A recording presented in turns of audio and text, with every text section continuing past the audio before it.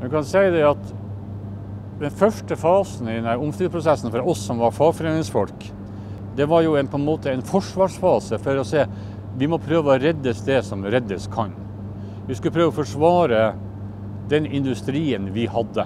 Eh, vi mobiliserte ikke bare i fagforeninger, men hele Rana-samfunnet. Det var tusener av folk ute i gaten. Alle skjønte at det her angikk dem.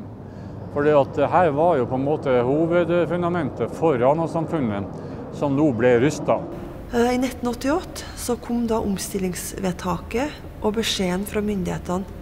Jernverket skulle nedlegges, den malmbaserte produksjonen omstruktureres og privatiseres. Etter at klubba falt i Stortinget, så løfta vi blikket og så framover. Vi skulle ikke ta noen omkamper. Vi skulle jobbe for omstilling og for at Rana-samfunnet skulle få ei framtid med flere bein å stå på.